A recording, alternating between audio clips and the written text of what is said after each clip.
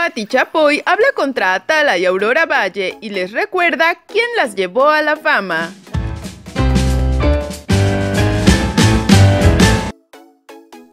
Desde que salió Atala Sarmiento del programa Ventaneando, tal parece que se generó una batalla campal entre ella y Patti Chapoy. Pero no solo eso, sino que todos los del programa Intrusos, que también alguna vez formaron parte de Ventaneando, se quisieron subir al tren de la polémica.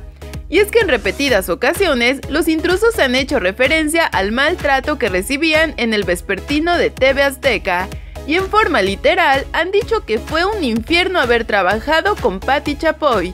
Incluso en muchas emisiones, antes de que Atala entrara al vespertino, fue invitada y tal parece que únicamente se dedicaban a hablar mal de Chapoy. Así que la titular de Ventaneando ya no aguantó más ese tipo de comentarios. Resulta que fue invitada al programa Miembros al Aire, y ahí fue donde les dijo de todo, pues comentó, los jefes del infierno te ayudan a ser mejor profesional. Además, dijo que es una lástima que se expresen así de la empresa que les dio de comer.